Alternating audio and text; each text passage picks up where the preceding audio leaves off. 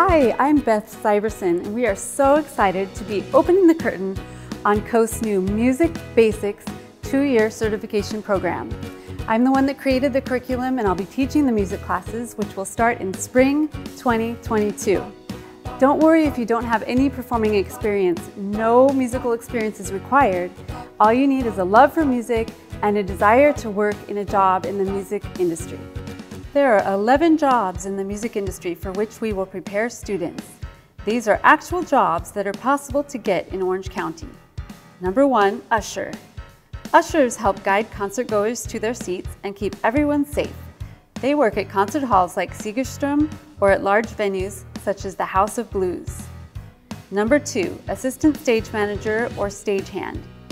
Assistant stage managers or stagehands load equipment on and off stage and support the show backstage before, during, and after a performance.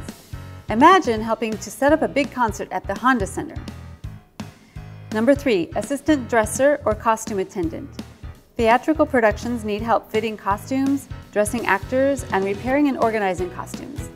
Disneyland hires costume attendants sometimes, and many theatrical productions employ dressers. Number four, music librarian assistant. Do you like to organize things? Music librarians collect, distribute, repair, and file sheet music. Larger houses of worship, colleges and universities, and ensembles like the Pacific Symphony might hire a music librarian assistant. Number five, sound and lighting technician.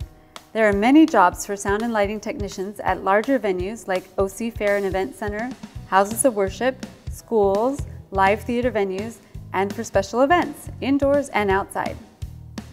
Number six, teacher's assistant. Music teachers' hands are full, so many schools, camps, and activity centers like Gymboree hire teacher's assistants.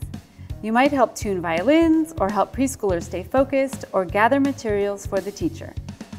Number seven, DJ, MC, or announcer. Weddings, parties, concerts, and special events sometimes need to hire DJs, MCs, or announcers to introduce guests, keep the music playing, and entertain the crowd. Number eight, clerical or box office assistant. If you are organized, like to use computers, and like to talk with customers on the phone, you'd be very useful in the office of a theater or music organization such as Laguna Playhouse. Number nine, singer or instrumentalist. Some students who've already been taking private lessons for many years might be able to polish their skills to land paid performance opportunities as a singer or instrumentalist. Number 10, instrument repair or tuner assistant. If you like to work alone and enjoy fixing things, maybe you'd like to be a guitar tech at a luthier, or you could repair band instruments at a music store. Number 11, recreation worker. Would you like to keep seniors entertained at senior living centers like Atria Senior Living? Or would you like to sing and dance with children at camps and childcare facilities? If you have an outgoing personality, this might be a perfect job for you. The Coast Music Basics Certification Program is a four-semester program requiring enrollment and successful completion of eight classes.